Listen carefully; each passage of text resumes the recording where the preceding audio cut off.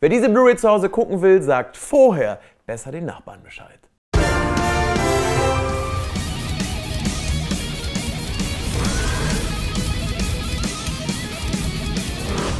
Hallo zusammen bei die Filmfabrik. Es ist wieder Zeit für einen Blu-ray-Test, diesmal von dem Konzertfilm Metallica Through the Never in 3D. Und es ist ja eigentlich bloß ein Konzertfilm, in dem äh, Metallica ein Konzert spielt, aber gleichzeitig im Film integriert ist die Geschichte von einem Crewmitglied Trip und äh, der soll eigentlich nur ein bisschen was besorgen gehen und aus diesem Trip nach draußen wird äh, plötzlich äh, eine Apokalypse, die er versucht zu verhindern und äh, währenddessen spielen Metallica aber äh, drin ihr Konzert weiter. Das wird immer wieder so in sich selber irgendwie verknüpft und geschnitten. Dabei ist das Allerwichtigste eigentlich, dass es die größte Metallica-Show ever war und so eine große Bühne noch nie gebaut worden ist in einer Halle. Wie das Ganze aussieht, das seht ihr hier im Trailer.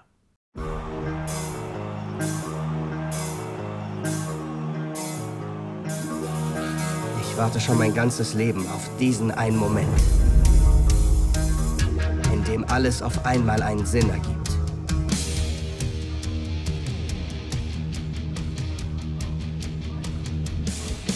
Ein neuer Abend, eine neue Show.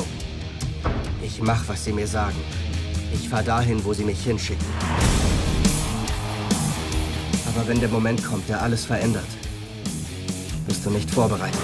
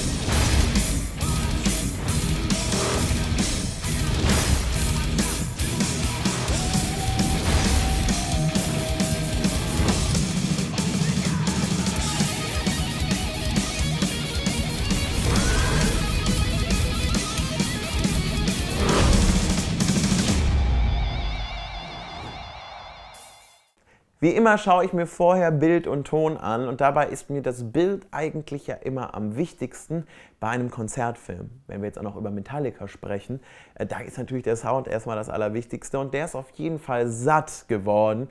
Ich habe dann auch mal äh, aufgedreht, ich gebe es zu, ich habe sie abends geguckt und hatte ein bisschen Angst, was werden die Nachbarn sagen. Sie hätten auf jeden Fall das Recht gehabt, sich zu beschweren. Der Bass ist satt und auch die anderen äh, Töne funktionieren gut. Äh, Gerade dieses abgemischte Konzert gleichzeitig verknüpft mit dem Film ist auch von der Tonalität, von der Lautstärke, von der Dynamik auf jeden Fall ordentlich geworden, jedenfalls auf meiner Anlage. Und auch das Bild ist eigentlich äh, sehr sauber, sehr klar, könnte an äh, manchen Stellen noch von den äh, Farben ein bisschen detaillierter sein. Da kann man auf jeden Fall noch, auch noch Kontrast draufhauen, ist äh, meckern auf hohem Niveau. Der 3D-Effekt ist ein bisschen zweifelhaft. Ich bin jetzt kein großer Freund von 3D bei Konzertfilmen gerade hier haben wir ja diese Story, die drumherum gewoben wird, ist gar nicht so intensiv.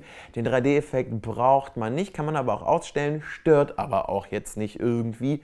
Deswegen ist das für mich so ein Punkt, der ist mir egal. Technisch gesehen bekommt es von mir aber eine 8 von 10 Punkten. Jetzt kommen wir zum Inhalt bzw. zu den Extras. Und da ziehe ich echt meinen Hut.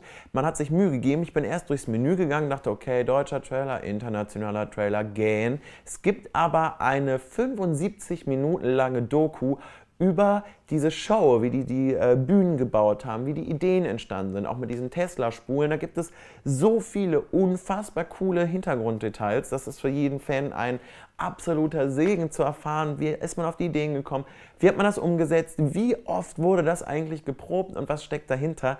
Muss ich wirklich sagen, gibt es seltener auf Blu-rays, dass man sich so eine Mühe gibt. Das ist wirklich top. Es gibt auch noch ein kleines Making-of und noch so ein paar extra kleinen Kram. Das ist ganz nett. Ich muss aber sagen, äh, noch eine zusätzliche in sich geschlossene Dokumentation zu bekommen, gibt es selten. Das gibt von mir auf jeden Fall Hut ab. Man könnte bei den restlichen Extras noch gerne einen drauflegen. Kriegt von mir aber insgesamt 9 von 10 Punkte für diese Extras. Und damit sind wir bei 8,5. Also kommen, geben wir 9 Punkte für die Ausstattung und für die Technik dieser Blu-ray. Das ist mehr als ordentlich und wird die Fans auf jeden Fall zufriedenstellen. Wer jetzt noch einmal wissen will, wie der Film eigentlich war, habe ich euch die Review, die ich im Herbst gemacht habe, hier unten verlinkt. Da geht es dann um den Inhalt. Schaut doch gerne da mal vorbei. Wer jetzt aber sagt, hm, ich möchte auf jeden Fall ins Kino gehen, schön, dass du mir die Blu-ray vorgestellt hast. Aber hier gibt es ins Kino, hier gibt es eine Review von einem Kinofilm. Und äh, wir sehen uns einfach wieder bei einer neuen Filmkritik hier bei die Filmfabrik mit mir, dem Dominik.